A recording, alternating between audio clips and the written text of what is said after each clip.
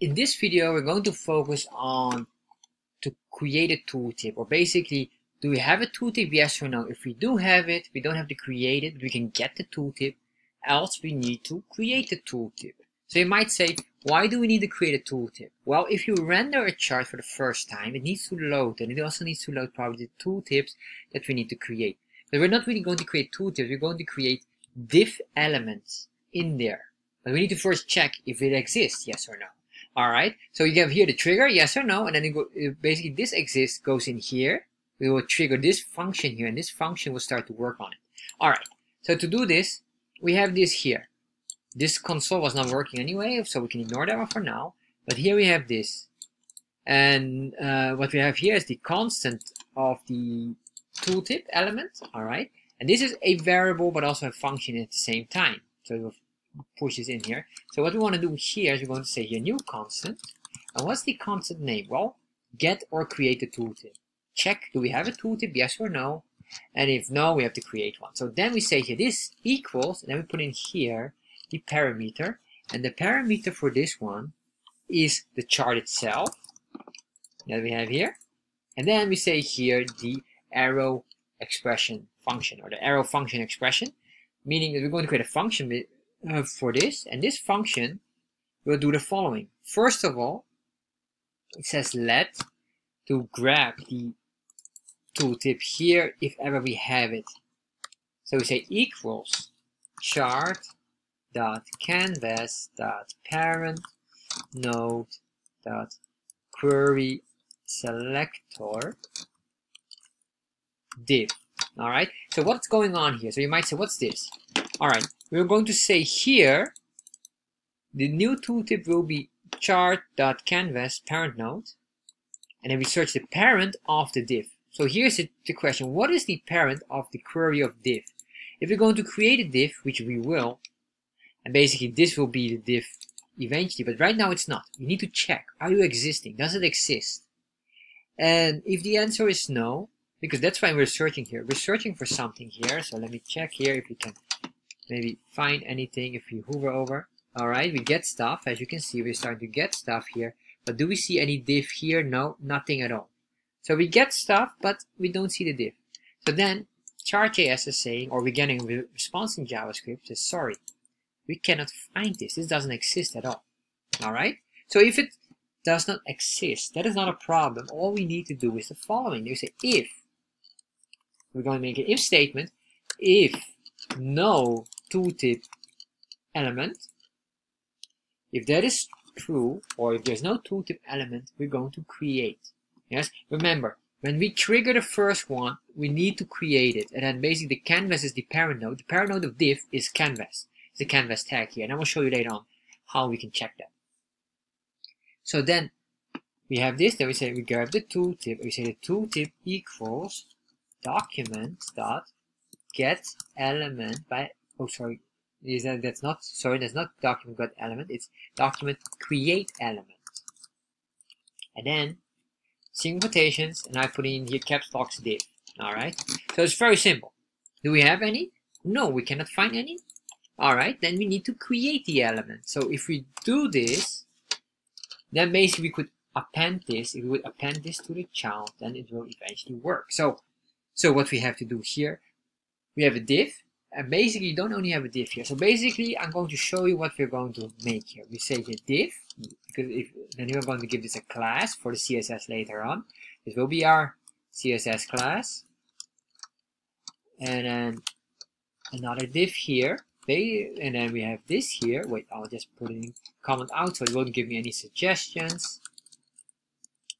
Here tab then what i want to do here is an unordered list closing unordered list. So and another tab and here class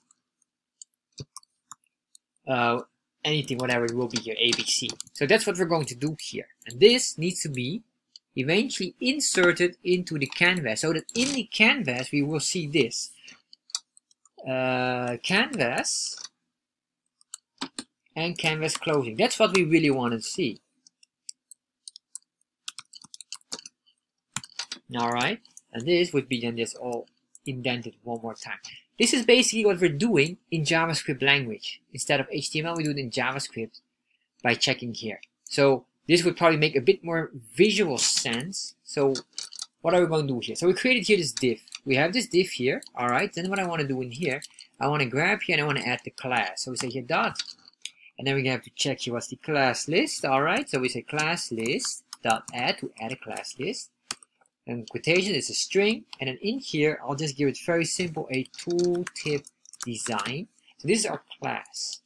And once we have this one here, we want to still also add this one and later we need to append this here and this will be appended in here so we say here the following and I'm going to give this another item and this item will be the tooltip unordered list tooltip ul dot oh sorry equals and this will say here almost similar to this because we're going to create a new document or a new element so the document dot create element quotation unordered list.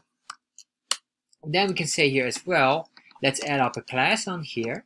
So we can almost grab this and I'll just uh, grab here the UL, remember, because we need to pinpoint the class in here, the UL, the tooltip UL, add class list, and here just I will just say here tooltip UL.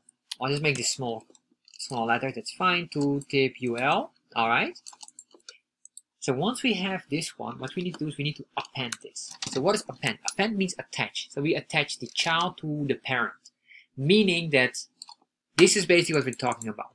This here is the parent of this, and this would be basically grandparent of this one. So that's the child child, but in essence, it would be the parent. This is the parent of this. Very important. So you understand this, and I covered the other video of that one as well.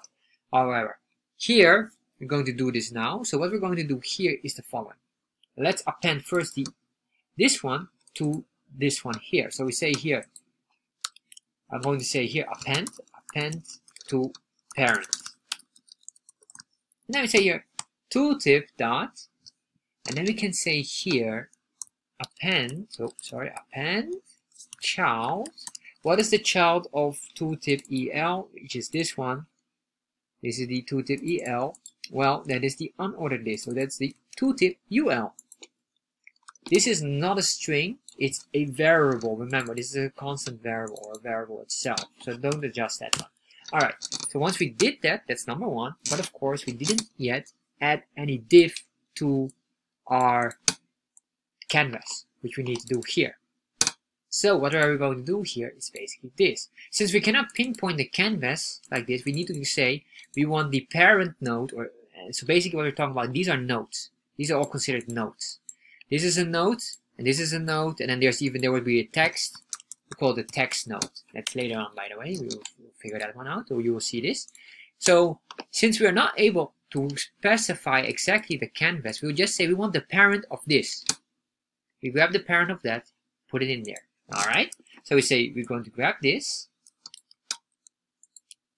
and say dot append child on the tooltip.